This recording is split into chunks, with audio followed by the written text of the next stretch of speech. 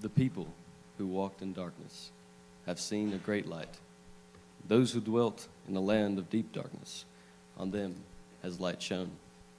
You have multiplied the nation, you have increased its joy. They rejoice before you, as with joy at the harvest, as they are glad when they divide the spoil.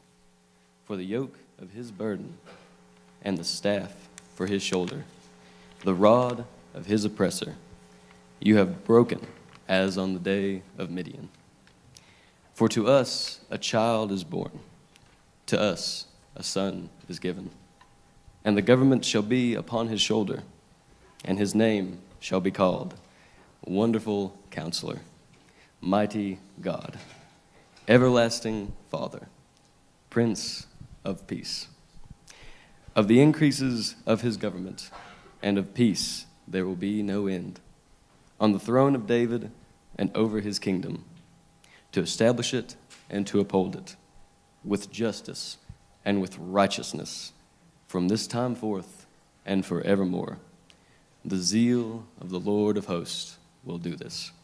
Isaiah 9, 2 through 4, 6 through 7.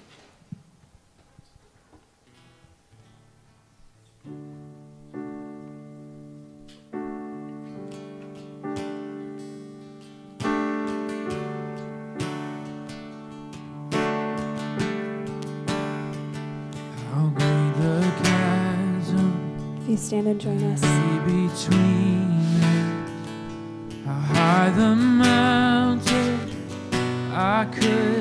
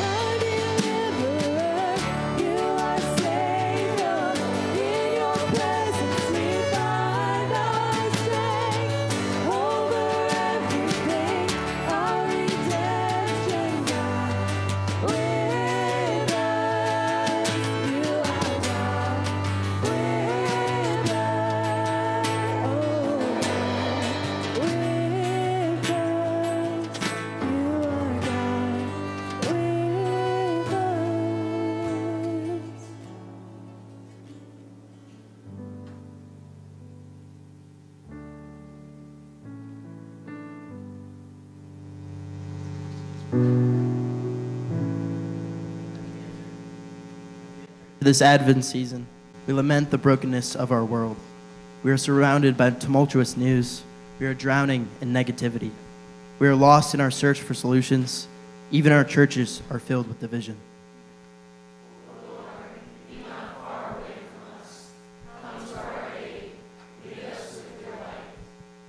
We are in danger of becoming apathetic, numb to the cries of those around us. Our hearts are made of stone.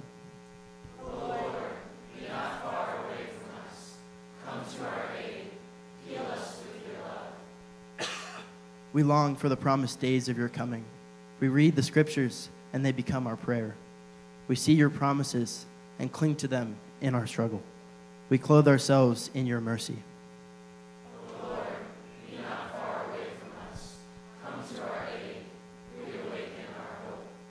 We pray, come, Emmanuel.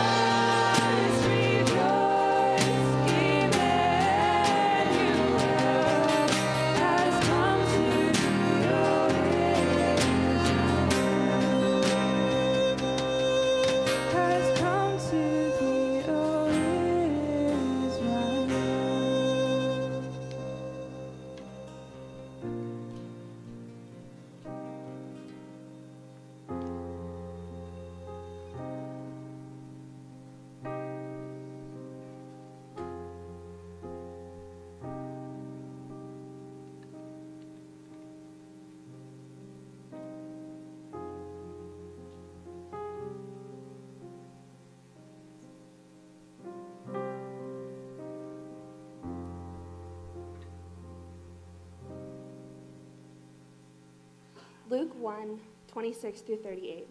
Thank you.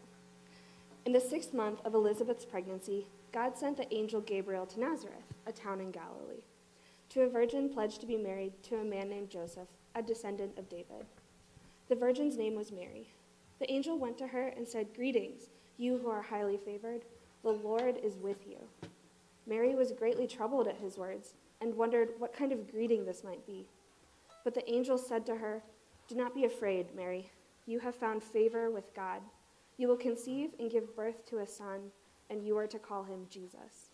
He will be great, and he will be called the Son of the Most High. The Lord God will give him the throne of his father David, and he will reign over Jacob's descendants forever. His kingdom will never end. How can this be? Mary asked the angel, since I am a virgin. The angel answered, The Holy Spirit will come on you, and the power of the Most High will overshadow you. So the Holy One will be called the Son of God. Even Elizabeth, your relative, is going to have a child in her old age, and she who is said to be unable to conceive is in her sixth month. For no word from God will ever fail. I am the Lord's servant, Mary answered. May your word to me be fulfilled. Then the angel left her. Mary's response was quick. After asking her one clarifying logistical question, how can this be? She jumped in with both feet. No hemming or hawing, no conditions, no asking for anything for herself. I am the Lord's servant. Let it be to me according to your word. Then in verses 39 through 56, she goes to her cousin Elizabeth, of whom the angel had spoken. And after just a greeting, just a greeting, Elizabeth knew in her spirit what God was doing in Mary. She was filled with the Holy Spirit, who encouraged and praised Mary through Elizabeth, confirming God's favor on her. Elizabeth prayed uh, Elizabeth praised Mary for her faith, saying, "Blessed is she who has believed that the Lord would fulfill his promises to her." If we're serious about following Jesus, how can we not live with Mary's humble faith that he will be good and he will be glorified? Mary's response is to praise the Lord, singing of the promises she has faith in. He who is mighty will do great things. He will exalt the lonely. He will fill the hungry with good things. He will remember his people, just to name a few of the things that she praised God for. The social ramifications of being an unmarried, pregnant Jewish woman must have been great, but yet her eyes are fully trained on the Lord and on this miracle he chose her to be a part of. Do you sense her excitement? She's waiting for the answer to all of these prophecies. And not only a few months will she not just get to meet him, she'll get to hold him in her arms. In Luke 2 4 through 7, we see this waiting come to an end. So Joseph also went up from the town of Nazareth in Galilee to Judea, to Bethlehem, the town of David, because he belonged to the house and line of David. He went there to register with Mary, who was pledged to be married to him and was expecting a child. While they were there, the time came for the baby to be born, and she gave birth to her firstborn, a son. She wrapped him in cloths and placed him in a manger because there was no guest room available. We don't have too many details of this night, but what we do have are important. She brought forth this miracle, this answer to hundreds of years of prayers. Hundreds of years of prayers. She brought forth this miracle and carefully and lovingly swaddled this beloved and much anticipated son, gently placing him in the only bed available, a manger. Can you picture the care and tenderness of motherhood on her face and the awe and gratitude in her heart? Can you sense the excitement? The promised king was finally here. What a picture of the humble kingship Jesus would live throughout his life, starting with his humble mother Mary in a lonely manger. What a gift this must have been to her, a servant of the Lord.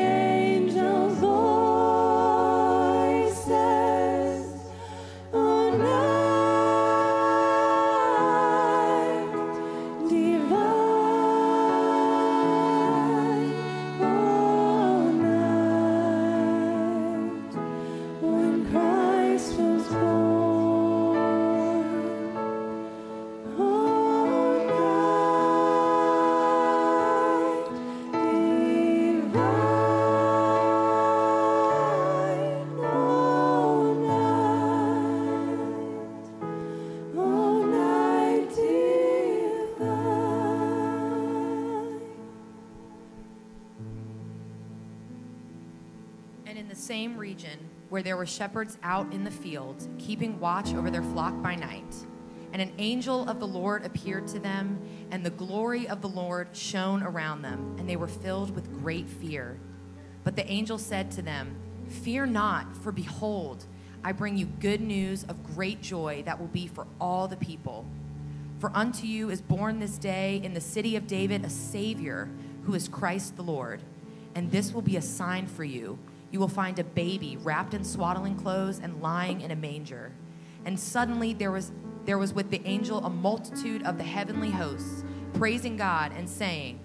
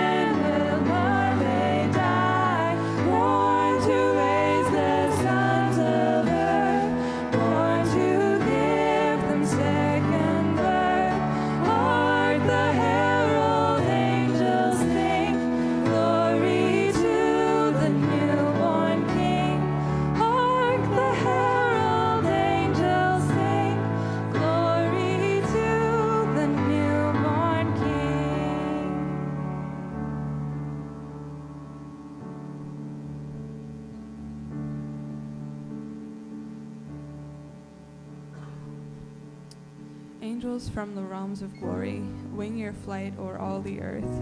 Ye who sang creation's story, now proclaim Messiah's birth. Come and worship, come and worship, worship Christ, the newborn King.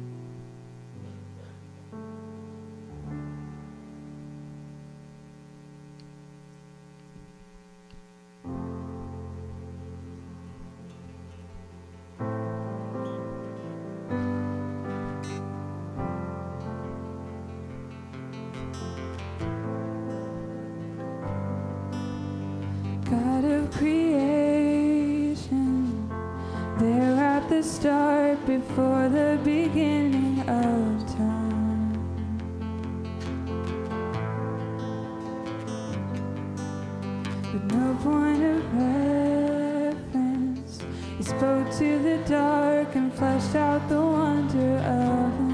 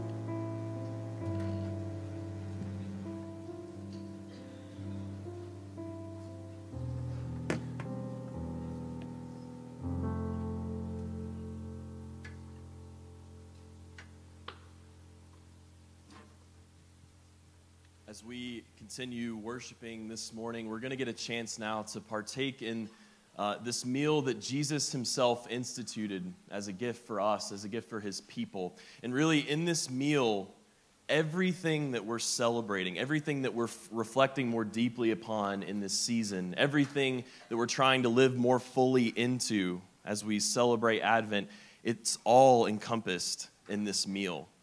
The already and the not yet, the promise that was fulfilled and the promise that is still to come, and the tension of the in between. Because this is a meal of celebration, right? It's a meal of remembrance as we look back and remember that God became a man, that he took on flesh, was born, lived, died, and rose again for the sake of his people, for the sake of this world and all of creation. And this is what we're celebrating in this season. But there's also another side to Advent. There's another side to this meal because it is also a meal of hope. It's a meal of longing and anticipation as we look forward to the day when He will return. The promise that He's made that He will come here and reign on earth as He does now in heaven. The day when He will come and redeem and restore all of creation, mending everything that is broken. And so, as we take this meal, we are reminded that even when everything around us and everything in us at times feels so dark, light is coming. This meal helps us hold on to that hope. And so, as we come, we're going to come up next to the manger here. Um, let us celebrate, let us rejoice. Emmanuel has come. But let this meal also stir in us a sense of longing. Let it cause us to say, Come, Lord Jesus. Let it help us cling to the hope that He is coming again. So there's going to be two lines up here, um, and you can come and dip the bread in the cup. If you're gluten free, just let the people know who are serving, uh, and they can they can give you a gluten free piece of bread. Um, so take a few a few seconds and reflect, live into this, and then when you're ready, come up and eat.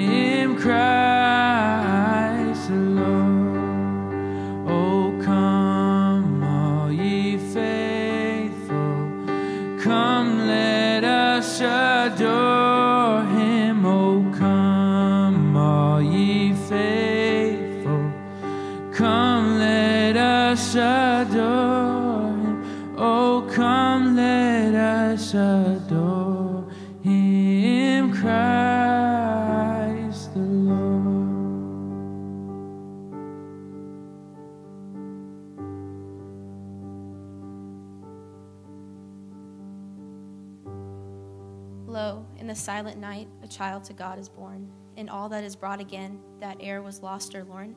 But could thy soul, O man, become a silent night, God would be born in thee and set all things aright.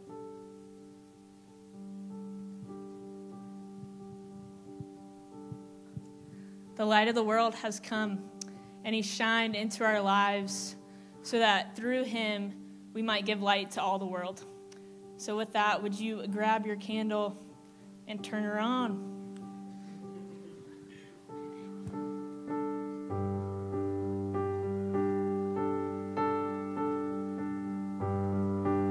All right, we're going to sing Oh Come one more time. Oh come, all ye faithful, joyful and triumphant. Oh come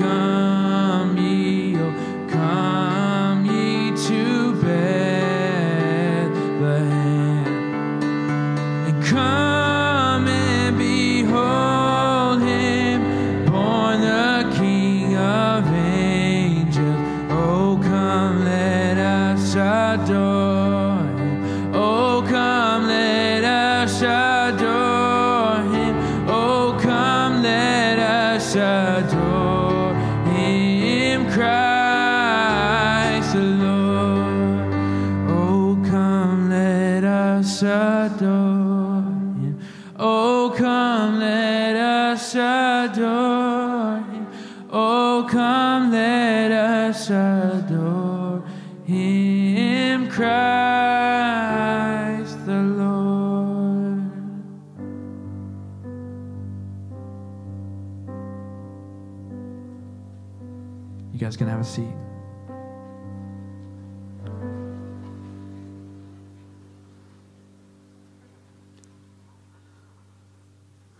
morning, church. Keep those lights shining.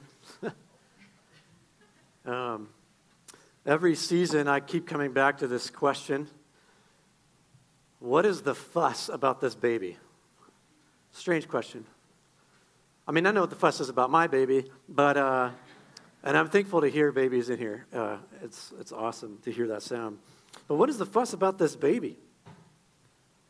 Every season, I come back to this question, and I think it's a good one to come back to. We have beheld holy sights, held our breath in wonder, but what's the fuss?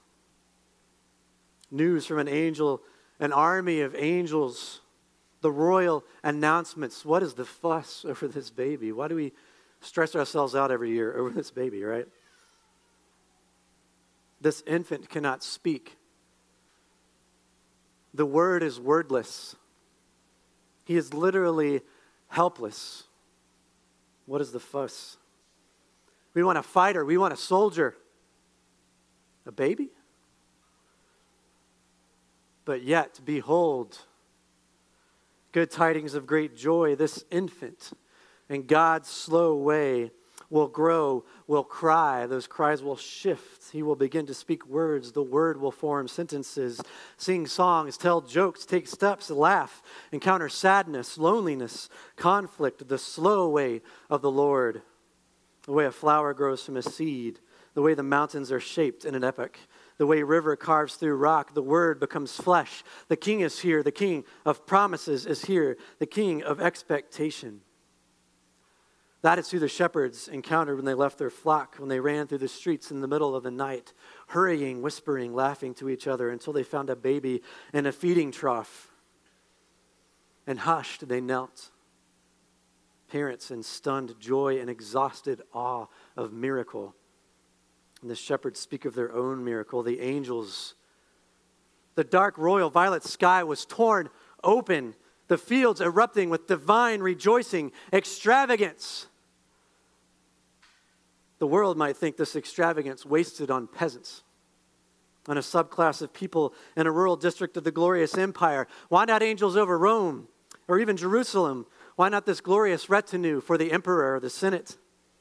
But this isn't for them. This is not for them. This is for the powerless. This crying infant is a sign that everything will be flipped upside down. Again, the parents are in awe, and the shepherds go back to their job. They have always been shepherds. They always will be shepherds. But now they have encountered God, the Messiah. The grass looks a little greener. The stars look a little brighter. The dirt in their fingernails are a little dirtier. The baby is older now, a toddler. He knows a few words. He doesn't stop moving. He's, he's running, he's climbing, he's playing. And instead of angels it's time, it's a star. And these men have been looking for the star their whole lives. They have practiced, taught in an ancient religion, trained to look for the supernatural. They remember one of their own who had been a captive, even had come from this, this land. But he was a wise man, and they remember his words, his visions, and so they journey searching and they stop at the royal palace. But the one they are looking for is not there. So they go to a town of shepherds of poverty, their resplendent robes covered in the dust of a thousand miles, their strange faces weathered by 600 days of the sun. It is a strange collision when these men, these magi, meet the little boy and bow and offer gifts and worship. And they too have encountered the supernatural. Their relentless searching has led them here to this toddler, to this ruddy boy covered in the dirt of his yard, running around his mother's knee. Again, a sign of the upending of things, and now their robes aren't so resplendent. Their crowns are not so shiny. They have encountered the king. This fuss for this baby, this majesty for this little one of promise and a person of expectation made whole. And in both encounters, the shepherds remain shepherds, the magi remain magi, but they go away. To do what? What next? What does the day to day look like now? In Luke's account, the shepherds leave worshiping. In Matthew's account of the Magi, they worship and they walk away worshiping. Not anymore in the physical presence of the Word, but they still worship. This encounter has left them sure of something, and this encounter is available to us. What will we do? Who will we be? To mark the certainty of the shepherds and the Magi might be easy to imagine, right? But the Word did not heal the Word did not perform a miracle. The Word was, is the miracle, and they believed. They believed.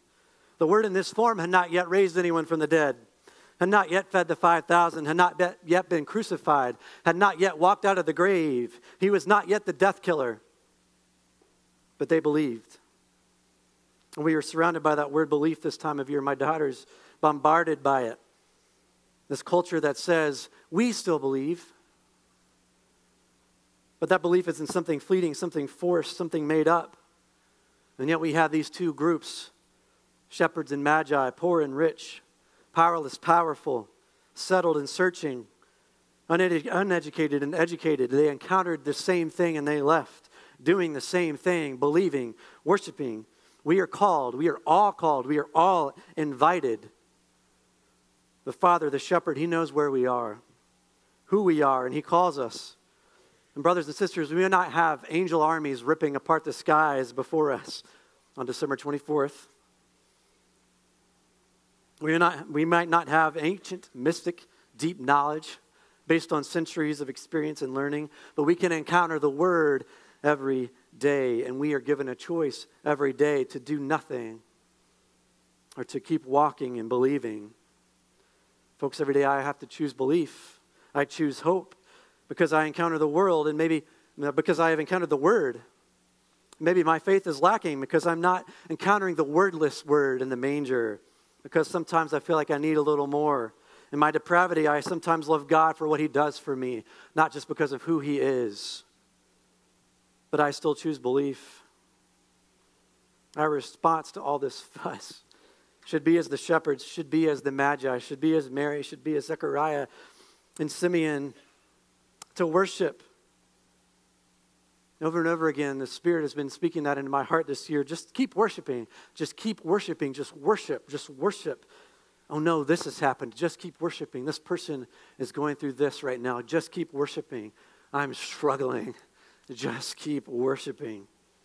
And that command resounds in Scripture, not for the things He has done for us, not even for the things He will do for us, simply because of who he is and who we are. The psalmist says, Oh, come, let us worship and bow down. Let us kneel before the Lord our Maker. For he is our God, and we are his people of his pasture, the sheep of his hand, the word made flesh.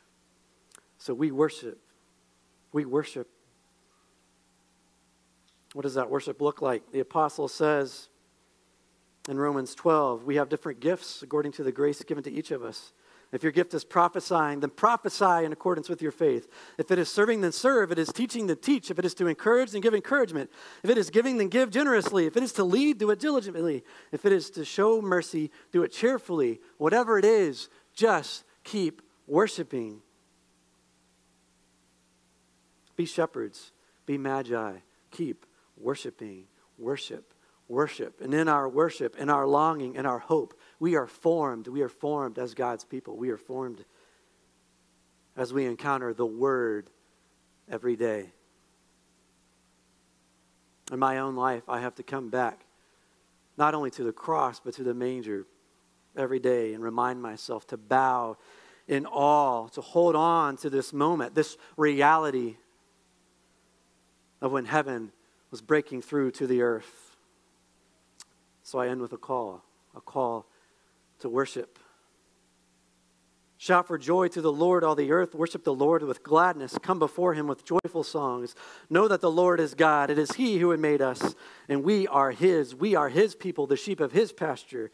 Enter his gates with thanksgiving and his courts with praise. Give thanks to him and praise his name. For the Lord is good, and his love endures forever. His faithfulness continues through all generations. Almighty God, we come before you in awe. We come before you as a people who, who struggle to, to see through the distraction, to see you in a manger. God made flesh. Emmanuel, God with us. Our rescuer, our Savior, our deliverer. God, we come before you and we worship. We worship. Father, through this season, help us to keep worshiping with your spirit. Keep worshiping. We are surrounded by bad news to keep worshiping when we can't we think we can't hold on any longer to keep worshiping and we worship for those around us, we worship for ourselves, we worship to give you glory, almighty God. It is only in your name that life is found. It is only in your name. And so we remember that this is what the fuss was all about, God. We encounter the Word made flesh, crying, swaddled in a manger. Amen.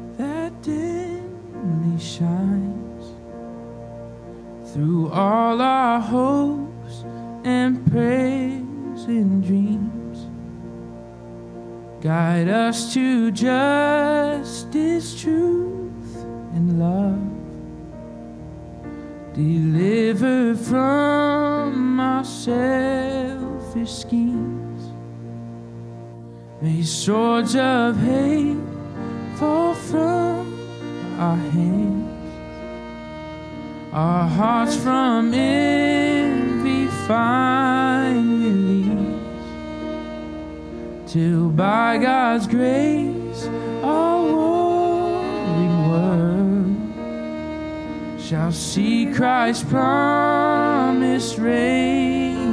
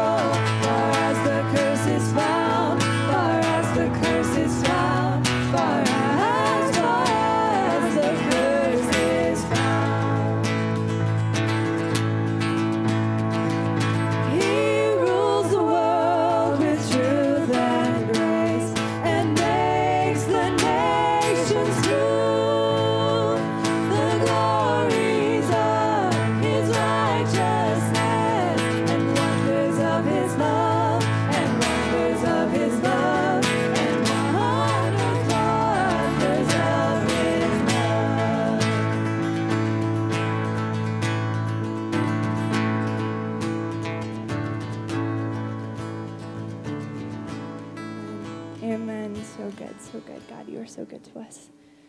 We praise you for who you are. Amen.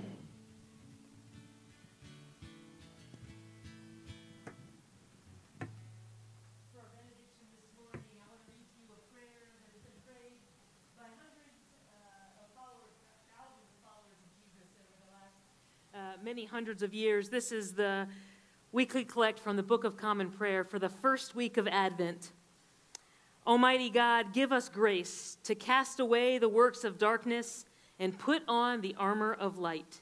Now, in the time of this mortal life in which your Son, Jesus Christ, came to visit us in great humility, that in the last day, when he shall come again in his glorious majesty to judge both the living and the dead, we may rise to the life immortal.